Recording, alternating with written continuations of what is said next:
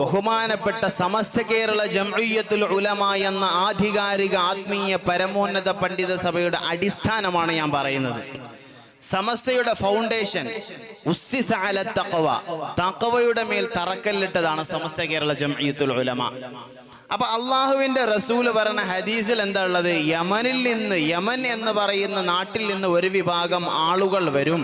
അവരുടെ കയ്യിലാണ് ഇൽമുള്ളത് അവരുടെ കയ്യിലാണ് ഹിക്മത്തുള്ളത് അവരുടെ കയ്യിലാണ് ദീനുള്ളത് എന്ന് റസൂലുള്ളാഹി സ്വല്ലല്ലാഹു അലൈഹി വസല്ലം.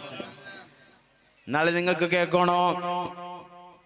യമനിലെ ഹലറുമൗത്ത് എന്ന സ്ഥലത്തിൽ നിന്ന് ശ്രദ്ധിക്ക. യമൻ എന്ന നാട്ടിലെ ഹലറുമൗത്ത് എന്ന സ്ഥലത്തിൽ നിന്ന് കോഴിക്കോട് കടപ്പുറത്തേക്ക് സയ്യിദ് ഹാമദ് ഹാമിദ് ബാലവി തങ്ങൾ എന്ന് പറയുന്ന ഒരു മഹാന് വർഷങ്ങൾക്ക് മുമ്പ് വന്ന് ജീവിച്ചിരുന്നു. സമസ്തയുടെ അടിസ്ഥാനം ഞാൻ പറയുന്നത്. യമനിലെ ഹലർ മൗത്ത് എന്ന സ്ഥലത്തിൽ നിന്ന് സയ്യിദ് ഹാമിദ് ബാലവി തങ്ങൾ എന്ന് പറയുന്ന ഒരു മഹാനുഭാവൻ കോഴിക്കോട് കടപ്പുറം ഭാഗത്ത് വന്ന് താമസം താമസിച്ചിരുന്നു. അദ്ദേഹത്തിന്റെ പരമ്പരയിൽപ്പെട്ട അദ്ദേഹത്തിന്റെ പരമ്പരയിൽപ്പെട്ട വലിയ മഹാനാണ് ബഹുമാനപ്പെട്ട വരക്കൽ തങ്ങൾ. നിങ്ങൾക്കറിയോ? സമസ്തയുടെ ആദ്യത്തെ മീറ്റിംഗിൽ ദുവാ നേതൃത്വം അദ്ദേഹമാണ് അദ്ദേഹത്തിന്റെ നേതൃത്വത്തിൽ അങ്ങനെ ഇങ്ങനെ ഒരു സംഭവം രൂപീകരിക്കുന്നത് തന്നെ. അപ്പോ യമനിലെ ഹലറമൗത്തിൽ നിന്ന് വന്ന മഹാനാണ് സയ്യിദ് ഹാമിദ് ബാലവി തങ്ങൾ. സയ്യിദ് അബ്ദുറഹ്മാൻ ഇബ്നു മുഹമ്മദ് ഇബിന് അഹമ്മദ് ഇബിന് ഹസൻ ഇബ്നു അലി ഇബ്നു ഹാമിദ് ബാലവി മുല്ലക്കോയ തങ്ങൾ. ഞങ്ങളെ നമ്മളെ വരക്കൽ തങ്ങളുടെ പരമ്പര ഞാൻ പറഞ്ഞത്.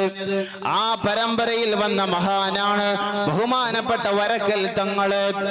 ആ വരക്കൽ തങ്ങളുടെ നേതൃത്വത്തിലാണ് അന്നത്തെ മഹാന്മാരായിരിക്കുന്ന പണ്ഡിതന്മാരായ ബഹുമാനപ്പെട്ട ഷെയ്ഖുന അബ്ദുൽ ബാരി ഉസ്താദിനെ പോലുള്ള പാങ്ങിൽ അഹമ്മദ് കുട്ടി മുസ്ലിയാരെ പോലുള്ള ബഹുമാനപ്പെട്ട ആലിമീങ്ങൾ ഒന്നടക്കം കോഴിക്കോട് ടൗൺ ഹാളിൽ ഒരുമിച്ച് കൂടി അദ്ദേഹത്തിന്റെ വരക്കൽ തങ്ങളുടെ ദുവാഹ നേതൃത്വത്തോടുകൂടെ ആശീർവാദത്തോടുകൂടെ തുടങ്ങിയ സംഘടനയാണ് സമസ്ത കേരള ജമയത്തുൽ ഉലമ എന്ന ആധികാരിക ആത്മീയ പരമോന്നത പണ്ഡിത സഭ.